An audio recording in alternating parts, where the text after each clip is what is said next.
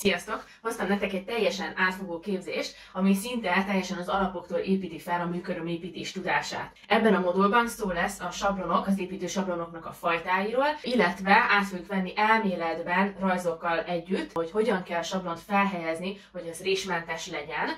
Szó lesz a manikűrnek az eszközeiről, frézerekről, csiszológépekről, miért vásároljatok, melyik frézerre van szükségetek. Megmutatom a manikűrt gyakorlatban is, a saját kezemen fogom megmutatni, hogy hogyan lehet kettő frézerrel eltávolítani a letapadt bőrt, a hátsó bőredőt feltolni, a körömlemezt mattítani, és milyen előkészítő anyagokra, folyadékokra van szükségetek, illetve hogy hogyan tudtok viszonylag gyorsan dolgozni, ezáltal meg is élni ebből a szép szakmából. Jó tanulást kívánok!